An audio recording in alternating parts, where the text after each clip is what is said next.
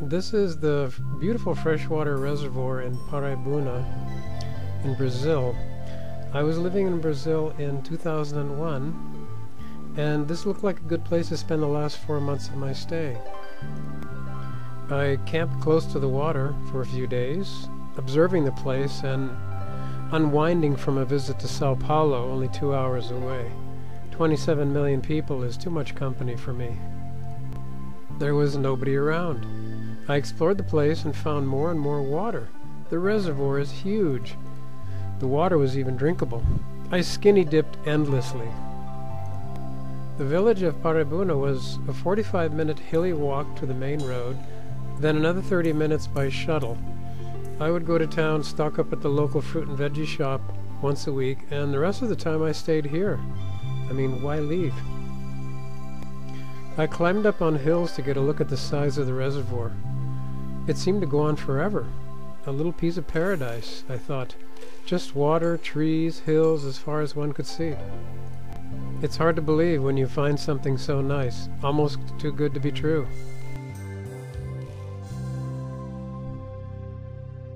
In fact, it was too good to be true. Within sight of my camp was a diesel ferry that took cars and trucks across the lake every hour or so.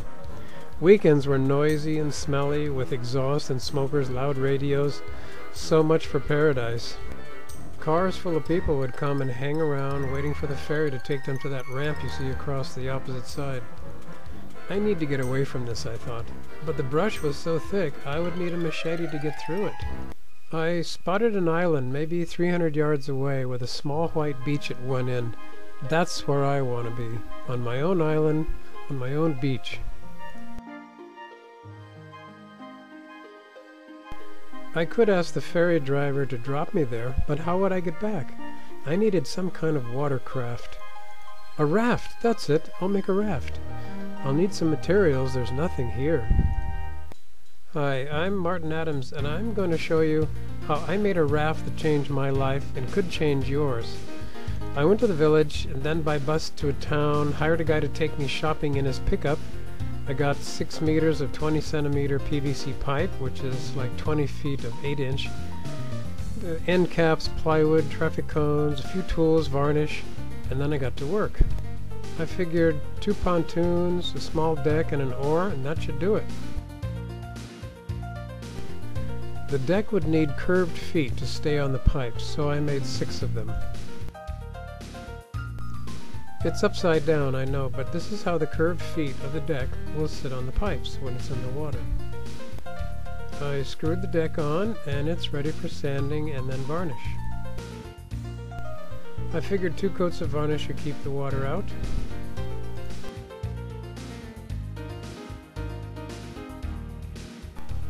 I hung the deck from a tree with a nylon string so it wouldn't so nothing would stick to it when it was drying.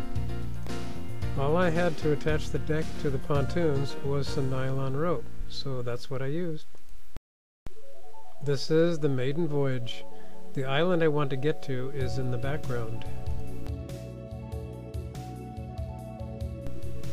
This had better work, I thought. Well, so far so good. It floats. Oh, doesn't that island look inviting? And the beach completely empty?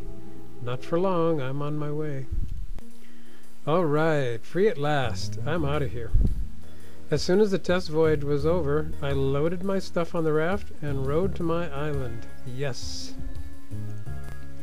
After exploring my end of the reservoir for a few weeks, I decided to turn the deck 90 degrees to make the raft wider and more stable.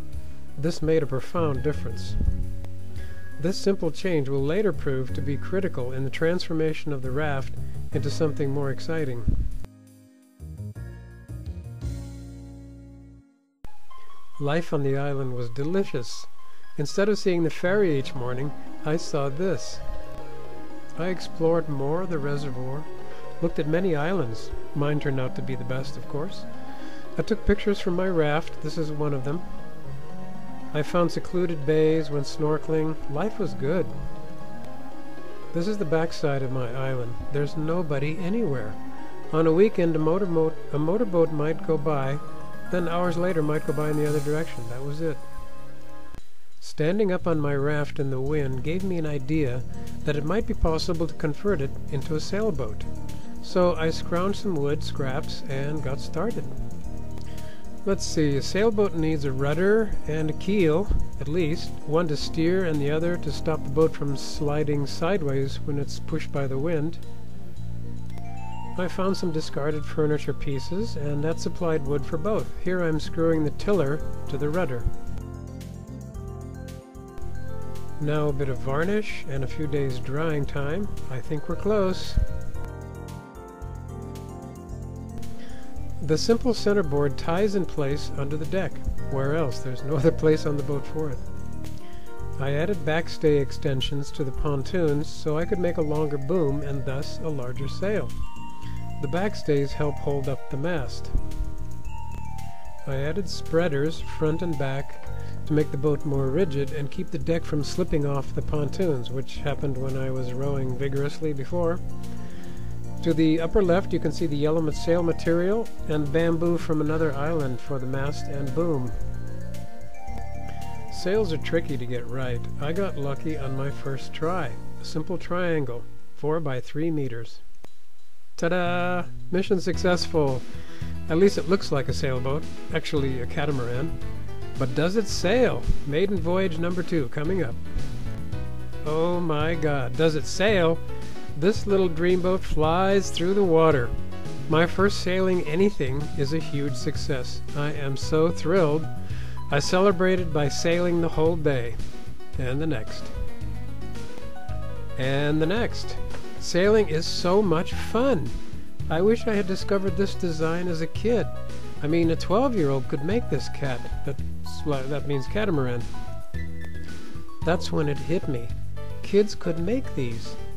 It knocks down into pieces in minutes and could be carried on a trailer behind a bicycle like uh, we used to carry surfboards in California back in the 60s and 70s. No need to bother mom and dad to take your sailboat on the roof rack. Take it with your bike. Okay, now this is the finished cat. A jib makes a big difference in the way this cat sails, like faster and much more control. This is the final design and it performed beyond my dreams. It was my first sailboat, and it's still my favorite. I think kids would love this. Big kids, too. The next one, I thought, is going to be better. More flotation, but not bigger. More sail area. Faster. Bigger and more comfortable deck. It should carry two people in comfort. So here's the idea. You pack some food and water, go to a lake tie on the gear, and disappear for a weekend or a whole week. Go places nobody's seen. This is something I have to share with others, I thought. It's too much fun to be kept a secret from others. I decided to improve the design and share it with the world when the time was right. Well, world, now's the time. After four months on this beautiful island paradise, I left Brazil and I left my cat too. It's still there if anybody wants to go sailing. Better still, you can make one and sail anytime you want. I've made three more cats since, two from PVC, and I'm building one now based on the original design, which I think could open up sailing to many more people. RebelCat 5 it's called. Check it out at my website and tell me what you think. Thank you.